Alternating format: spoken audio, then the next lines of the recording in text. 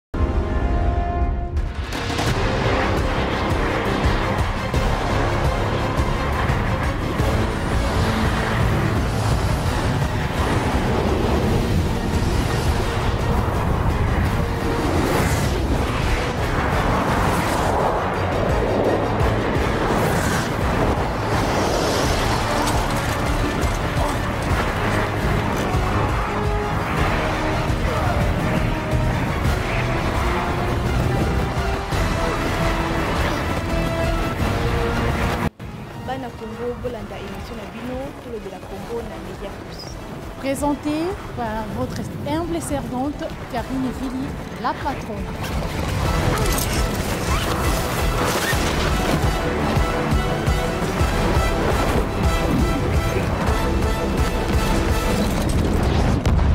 atondo bayimboka baye nyonso bozwi libaku ya kolanda émission na bino tolobela congo lelo toza koloba na compte ya chaîne na bino media plus la chaîne panafricaine oyo bomesana vraiment kolanda mokolo mwa lelo tokosala bongo bokolongono bwa nzoto natiki mwa mikolo ebele mpamba te nakopesa bino basango ya monganga eteni longondo te tokoyebisa na bino ke ministre ya sante azwami kuna na okatanga oyo atambolaki mingimingi akendaki na lubumbashi likasi mpe kasumbalesa wapi epai monganga eteni longondo akokoba kosala toujours mosala mpo na mai matali bongo bokono ya covid-19 tokotalisa na bino mpe tozonga mpamba te tokokoba kolakisa na bino ete baoyo nyonso monganga eteni longono aza kosala na engumba mokonzi kinshasa ti na baprovince na biso mpo na kolongola bongo maladi ya bokono ya coronavirus elimwa na bandako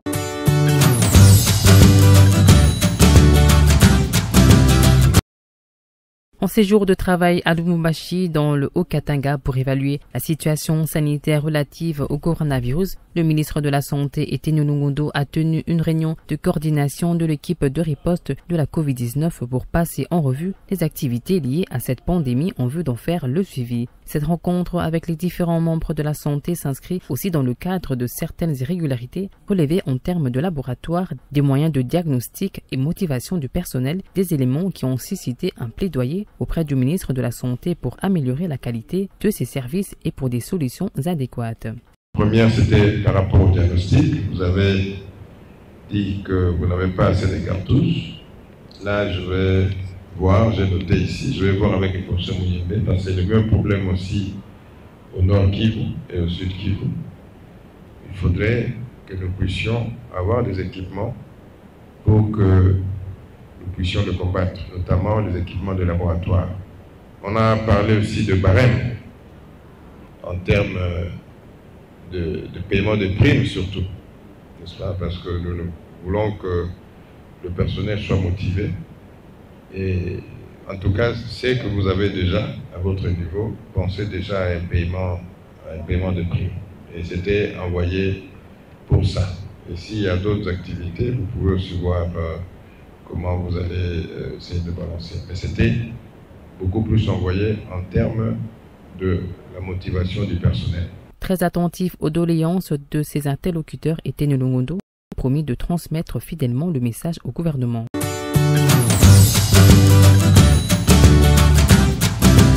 ya solo bosilaki bongo kolanda tourne ya monganga eteni longondo mais aza toujours na katanga azongi nano na engumba mokonzi kinshasa te akopusana libanda mpe nzinganzinga ya, ya province ya o katanga aza toujours kokoba kosala totalisi bino na baville ba oyo ye alekaki mpamba te akokoba tobandi kolakisa bino mpe lisusu kende nguma mokonzi kinshasa baagent ya riposte badeklare babi ke 3 mois ya impayement bafuti bango te bakoganga monganga eteni monganga ete botika nabetela bino nano lisolo nano boyeba malamu malamu pamba te euh, lokuta monene mpe baintox ekoti ebele na kati ya makambo etali covid-19 balokuta eza kobima ebele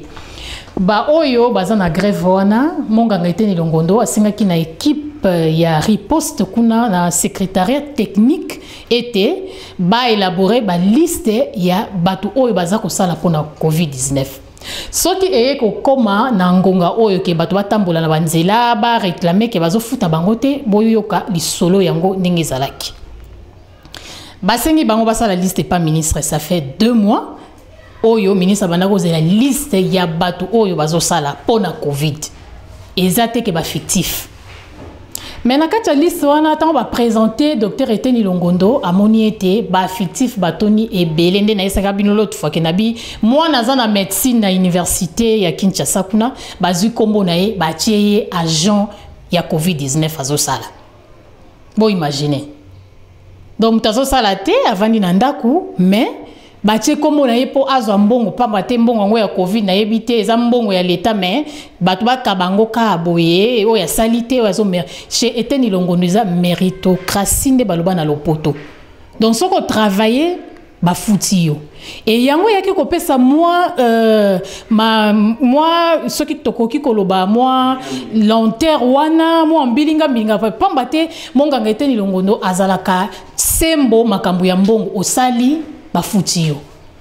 oza ya agent oyo azotravaille ozosala mosala bakofuta yo mais yo oza agent te e comment bafuta yo mbongo oyo ezaki osali mosala te nyonso wana ayebisaki yango auti mpe koleka na radio, na radio moko tokoki kotanga nkombo te mpo na publication uh, nani uh, promotion na bango ayebisi bango ete azalaki kozela liste e bapresente ye bagonfle liste bato batondi ebele babongisa liste wana soki basisi kobongisa bakofuta bango mpamba te basalaki et puis bazo merite bafutama malamu malamu mpo bango baza kosala mingi riske ebele ba bagen oyo baza kotravaille bamédecin ba wana baza kokamata maladi ndenge balobaka na lingala bamisusu bazalaki contamine na covid-19 mpamba te bakosunga milimo bakopesa eh, kosimba ko, ko, bayimboka baye baza na bokono bakomerite kozwa mbongo na bango malamu mais ba médecin directeur ya ba euh, différents hôpitaux ya ville province ya kinshasa bomeka malamu malamu kotala babiloko wana euh, ya kobongisa baliste wana bafuta kaka bato oyo bazosala ne sene pas bao baya kosala te okamati mbongo oyo osali te okimeli mbangu te otoki te nde balobaka na lingala okimi mbangu te otoki te bapesa mbongo kaka bofele mpo mbongo ya covid kuna eza nango te wana vraiment epai eteni longondo ekoleka te ekozala ke bobongisa liste malamu malamu bafuta toyebi ete ewumeli mpamba te bamisusu bakoloba ke mpo e, e, namonaki moninga na ngai moko boye koma nani na tie mpo na éclaire bato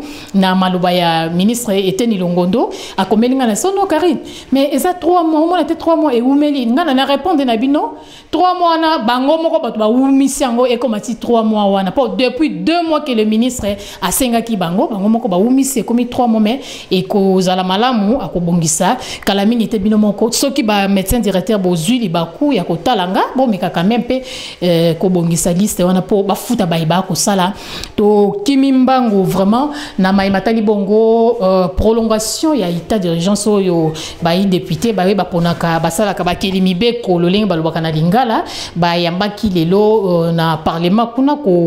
kosala ko ete bapesa baoyo baza ko, ko ko gérer covid 19 bapesa bango baexplication ya malonga malonga ministre ya, ya santé azali na libanda ya mboka kasi vice na ye albert mpeti biombo akendaki korepresente monganga eteni longondo basolola mai matali bongo euh, prolongation ya état d'urgence bayi mboka ebele bakokomprendre te babi badeconfine gombe mais population ye koganga te non tolembi confinement tolembi confinement mais il faut bato bayeba ete maladi ezali bayi bakeli mibeko to mpe badepute baza kuna na parlement bakosolola malembe malembe suka na yango tokoya bongo kopesa bino ndenge nini bazwi conclusion ndenge nini bayokani na baye bakokamba ekipe ya riposte bayimboka totondi bino vraiment botondi botikala bongo kolanda basango ya media plus télévision na compte ya émission na bino tolobela congo rubrique bokolongono bwa nzoto na nsima ya kamera namoni jason lelo abendi nga vraiment bilili mike maseme ako beta yango dada lokola nde tolobaka mikolo nyonso merci na équipe technique mobimba bavandi pembeni mpamba te baza mwa ebele ekoya kopesaka mwa kokoso ya kotanga bakombo na koya quand même euh, ekozala malamu mbote na papa sylvain bayo nyonso bazwaka libaku ya kolanda ivili karine napesi bino mbote babokolaka nyonso ya bino erataka te tokateli bino losako tokutani bongo mbala ya nsima ngai naza na ngai na bokolongono bwa nzoto nasalaki test na ngai ya covid-19 nabimi négatif alors tokutani bongo mbala ya nsima